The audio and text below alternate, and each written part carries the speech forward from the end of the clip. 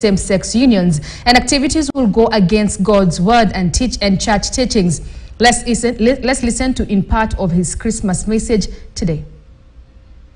Afraid to come together as family members. Christmas is a time, it's a space provision for us to be together and talk about one another, about who we are, to one another, to ourselves, about our honesty, about our trust, about our contribution towards the family, and about the many things that God gives to the families as presents. You will find that in it, there is also that sense of healing by going back to the roots. By going back to the roots. And the roots is what we are being told today with the, with the, the, the, uh, the gospel.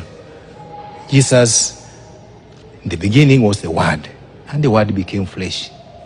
The others give us the genealogy of Jesus Christ, in which the history things were corrected and destined and planned towards God's plan without fear.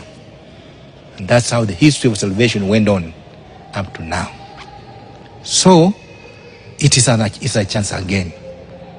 So, Father, thank you very much for, for printing that book, Mother in Law, which comes very opportunely at such a time when we have family day, Christmas, which we stay together as a family to rediscover ourselves, our goodness, our energies, our pros, our cons, so that we may make proposals and plans for the year to come.